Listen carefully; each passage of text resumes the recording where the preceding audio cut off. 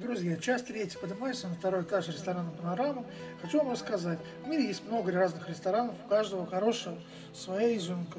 Ресторан Владимир Панорама отличается от всех других великолепным месторасположением. Мы находимся на историческом ядре древнего Владимира, в непосредственной близости от Соборной площади. Из наших окон открывается такая панорама, что у вас дух захватит. Ресторан «Панорама» – это прекрасное место для отдыха душой и телом. Поверьте, визит к нам оставит неизгладимый след вашей душе и станет одним из самых ярких воспоминаний в нашем прекрасном старинном городе. Мы ждем вас.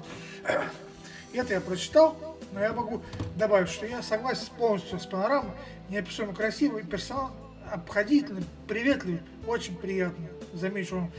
Вы вспомните меня, советую, приезжайте. Цель моя в том, что вы приехали гости нашей столицы и вернуться хотели еще много-много раз и обращались ко мне за данную услугу.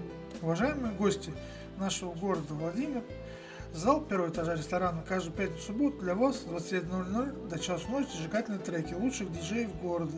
Каминный зал ресторана «Панорама» прекрасно подойдет для проведения небольших мероприятий. Караоке зал ресторана «Панорама» прекрасно подойдет для проведения небольших мероприятий.